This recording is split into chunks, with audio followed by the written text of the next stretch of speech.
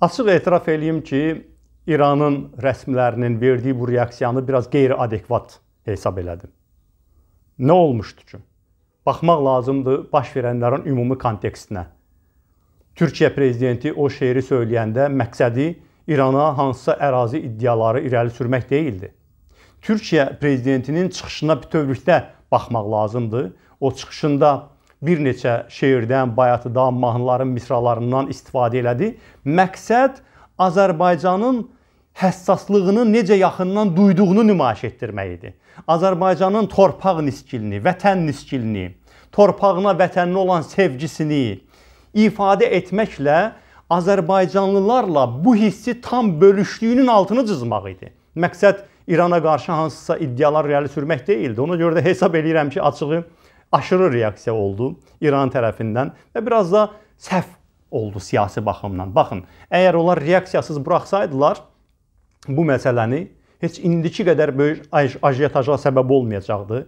Həm İranda yaşayan azərbaycanlılar arasında, həm Azərbaycan Respublikasında, həm Türkiyə Cümhuriyyətində belə böyük bir rezonans yaratmayacaqdı. Amma sanki İran rəhbərliyinin bu düzgün olmayan yanaşması səbəbindən istəmədikləri halda Cənubi Azərbaycanla bağlı bir müzakirə açmış oldular. Ona görə də hesab edirəm ki, düzgün yanaşma deyildi. Amma belə məlum olur ki, bu yanaşma təsadüf də deyil. Bilirsiniz, bu 44 günlük savaş günlərində çox aydın görünürdü ki, İranda ən azı bəzi dairələr narahatdılar. Yeri gəlmişəm, bunu da vurğulamaq lazımdır. Prinsipcə İran rəhbərliyi həm ali dini lider, həm prezident səviyyəsində Azərbaycanın ərazi bütövlüyünə, torpaqlarını azad etməsinə öz dəstəklərini ifadə elədilər və bu yaxşı haldır. Bizim xalqımız tərəfindən də bu təqdir olunub. Amma e, Fars millətçilik mövqeyindən çıxış edən ayrı-ayrı siyasətçilər zaman-zaman həmin bu 2-ci Qarabağ savaşı günlərində etiraz edirdilər. Nəyə etiraz edirdilər? Azərbaycanın çox qəribədir. Öz sərhədlərinə, İranla sərhədlərinə nəzarəti əlinə keçirməsi birilərini narahat eləyirdi. Əslində nə qədər qeyri-təbiidir. Azərbaycanın sərhədlərinə bəs kim baxmalıdır ki? Azərbaycanla İranın arxasında arasındadırsa bu sərhəd adından bəlli. Deməli onun bir tərəfinə Azərbaycan nəzarət etməlidir. Amma hətta bu təbii hüququmuzu reallaşdırmağa da orada kimlərsə etiraz eləyirdilər. Naxçıvanla aramızda kommunikasiyaların bərpa olunma perspektivi və Naxçıvan üzərindən Türkiyə ilə aramızda kommunikasiyaların bərpa olunma perspektivi də orada narazılıqla qarşılanırdı. Ən azı bəziləri tərəfindən. Biz bunu hiss eləyirdik. Amma bu da çox təbiidir. Biz öz ərazimizdə kommunikasiyalarımızı inkişaf elətdiririk. İrana bunun nə adiyyət ola bilər ki?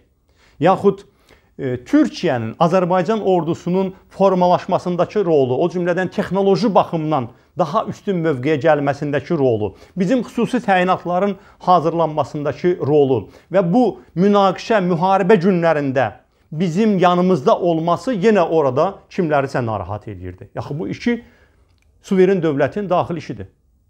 Hər iki tərəf bunu arzulayır. Üçüncü tərəfə nə aidiyyəti var bu məsələnin? Sənin sərhədini pozan yoxdur.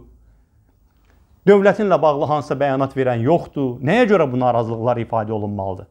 Biz o zaman bunları müşahidə eləyirdik, amma fikirləşirdik ki, bu yaxşı haldır ki, dövlət rəhbərliyi səviyyəsində dövlət siyasəti kimi ifadə olunmur.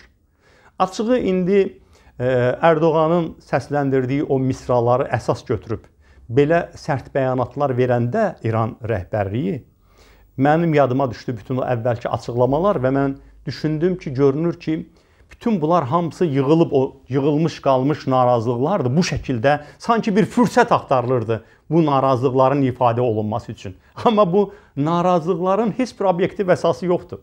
Nə Azərbaycan, nə Türkiyə İranı narahat edəcək heç bir şey etməyib. Əgər söhbət Azərbaycanın tarixən bölünməsindən gedirsə, bu bir tarixi faktdır.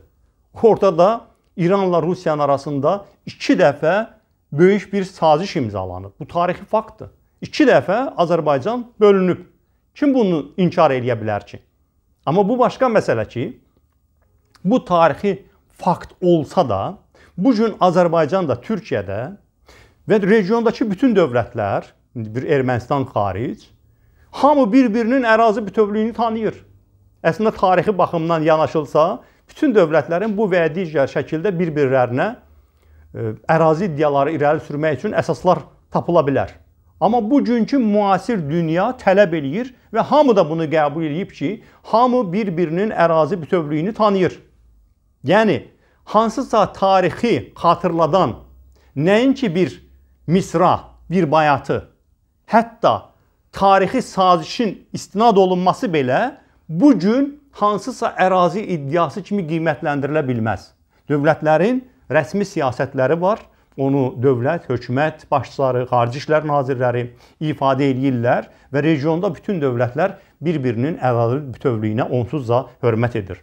Nəhayət hesab eləyirəm ki, açığı İran Türkiyə ilə dostluğu əslində çox yüksək qiymətləndirməlidir. Elə Azərbaycanla da. Baxın, mən o məsələyə girmirəm. Nə qədər haqlı, nə qədər haqsız. Fakt budur ki, İran çox böyük bir iqtisadi blokada şəraitindədir. Bu fakt. Və bu şəraitdə belə Türkiyə, elə Azərbaycan da İranla münasibətlərini yaxşı saxlamağa çalışır. Və bu qədər ağır blokada şəraitində olan İran üçün əslində bu dövlətlərlə dostluğu yüksək qiymətləndirmək gərəkir məntiqlə. Axı onsuz da İrana qarşı çox ciddi blokadalar, həm də təsirli blokadalar. Artıq bunu İran rəhbərləri özü də etiraf edirlər ki, bu iqtisadi embarqolar çox təsirlidir. Və bu vəziyyətdə də Azərbaycan və Türkiyə İranla münasibətlərini qoruyub saxlamağa çalışırlarsa, əslində bu yaxşı münasibətlərin qədrini daha yaxşı bilmək lazımdır. Və nəhayət sonda nəyi vurğulamaq istəyirəm? İranda yaşayan 10 milyonlarla Azərbaycanlının mövcudluğu İranla Azərbaycan arasında, o cümlədən İranla Türkiyə arasında mübahisə, münaqişə mənbəyi yox, əslində İranın bizə daha yaxın olmasına səbəb olmalıdır. Məsələn, Türkiyə-Azərbaycan dostluğuna orada kimsə qısqanırsa, Türkiyə-Azərbaycan dostluğu ilə müqayisə olunacaq bir dostluq yaratsın Azərbaycanla. Kim mane olur ki? Dost olun Azərbaycanla, siz də kömək eləyin Azərbaycana. Müsəlmançılıqdırsa müsəlman dövlətiyik. Əgər orada yaşayan vətəndaşların soykökü əsas götürülsə, 10 milyonlarla soydaşımız İran vətəndaşıdır. Onlara hörmət əlaməti olaraq bizə kömək eləyin, bizimlə bərabər olun, bizim qələbəmizə sevinin. Və siz də olun Azərbaycanın dostu. Niyə görə Türkiyəyə qısqanıb və heç bir şeydən mübahisəli vəziyyət yaradılmalıdır ki? Hesab eləyirəm ki, bütün bunların hamısı perspektivdə nəzərə alınmalıdır. Bizim hamımızın marağı olmalıdır ki, regionumuz prinsip etibarilə qarşılıqlı şəkildə bir-birindən faydalanaraq inkişaf eləsin və sülh şəraitində inkişaf eləsin.